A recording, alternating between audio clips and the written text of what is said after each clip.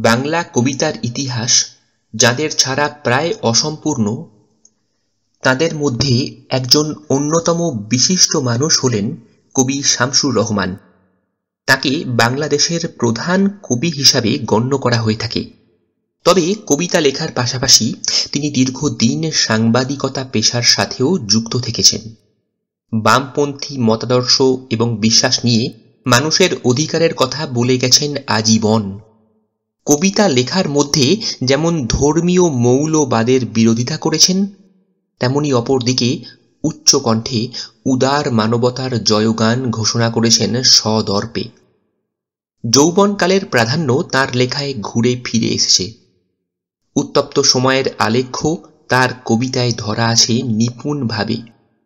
অন্যায়ের সঙ্গে আপোষ বাস্তব জীবনেও যেমন তিনি কখনোই পছন্দ করেননি এবং তার লেখাতেও সেই চাপ তিনি স্পষ্ট লিখে রেখেছেন। এই সংগ্রামী মানবতাবাদী কবি বাংলা সাহিত্যের এক অমূল্য সম্পদ। উনিশশো উনত্রিশ সালের তেইশে অক্টোবর পুরনো ঢাকার ছেচল্লিশ নম্বর মাহুত টুলির মামার বাড়িতে কবি শামসুর রহমানের জন্ম হয়। তার পৈতৃক বাড়ি হল নরসিংদী জেলার রায়পুরা থানার অন্তর্গত পাহাড়তলি গ্রামে। তার বাবার নাম মুখলেসুর রহমান চৌধুরী এবং মা আমিনা বেগম। তেরোটি সন্তানের মধ্যে শামসুর ছিলেন চতুর্থ। তার ডাকনাম ছিল বাচ্চু। উনিশশো পঁয়তাল্লিশ সালে শামসুর রহমান পুরনো ঢাকার পোগোজ স্কুল থেকে ম্যাট্রিকুলেশন পাশ করেন। উনিশশো সাতচল্লিশ সালে আইএ পাশ করেন ঢাকার ইন্টারমিডিয়েট কলেজ থেকে। পরবর্তীকালে তিনি ইংরেজি বিষয় নিয়ে স্নাতক শ্রেণীতে ভর্তি হয়েছিলেন ঢাকা বিশ্ববিদ্যালয়ে।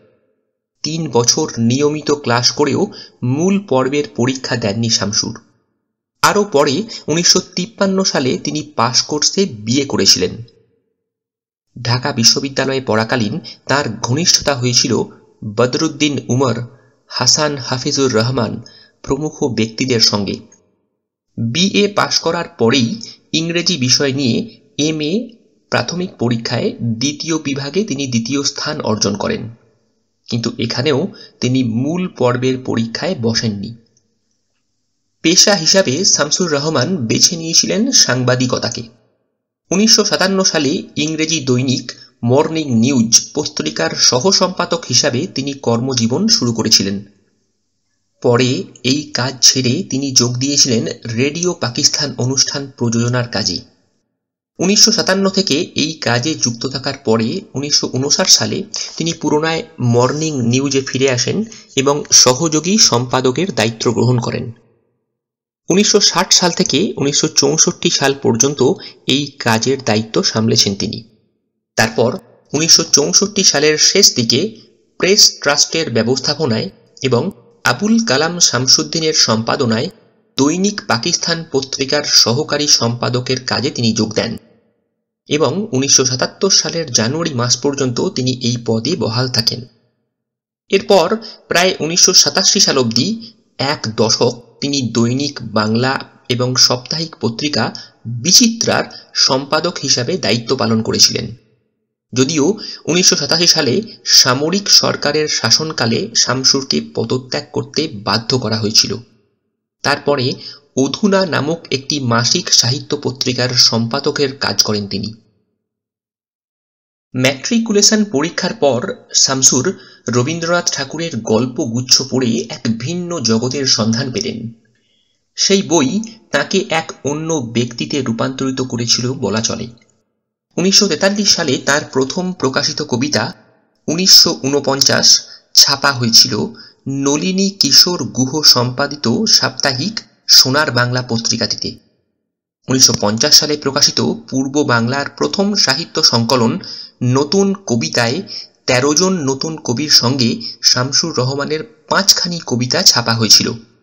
এই কবিতাগুলি পাঠকের কাছে কবি হিসাবে তার পরিচিতি গড়ে তুলতে সাহায্য করে।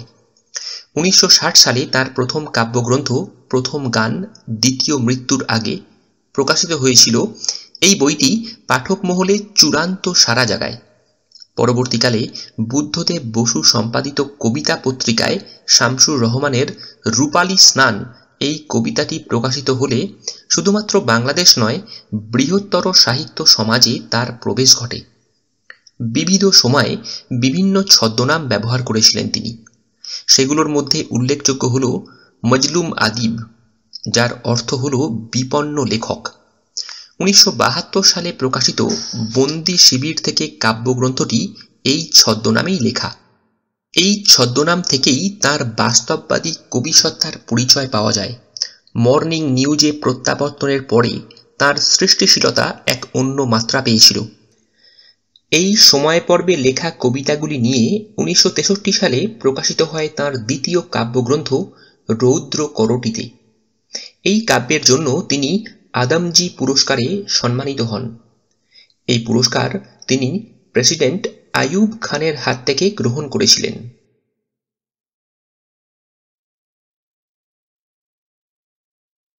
শামসুর রহমানের কবিতায় পরতে পরতেই প্রতিবাদের ঝলকানি লক্ষ্য করা যায়। উনিশশো পঁয়ষট্টি সালের ভারত পাকিস্তান যুদ্ধের উন্মাদনায় তিনি লিখেছিলেন কয়েকটি কবিতা ও কাব্য নাটক।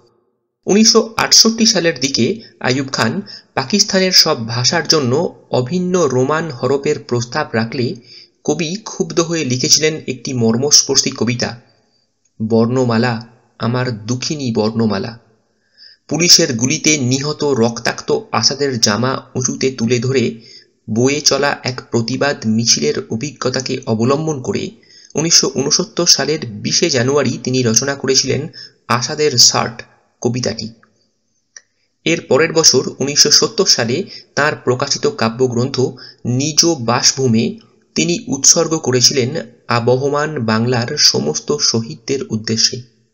বাংলাদেশের স্বাধীনতা যুদ্ধের সময় তিনি, স্বাধীনতা তুমি, তোমাকে পাওয়ার জন্য হে স্বাধীনতা ইত্যাদি বেশ কিছু কবিতা রচনা করেছিলেন, যেগুলি মুক্তিযোদ্ধারা তাদের যুদ্ধ শিবিরে আবৃত্তি করত।